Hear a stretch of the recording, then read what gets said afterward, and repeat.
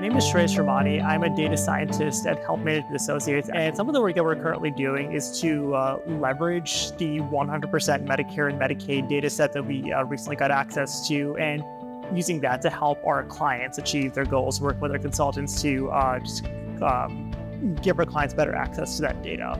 So uh, yeah, that's really my biggest pro-, pro my biggest project at this point is just to better like harness the, those set those data sets to help our clients.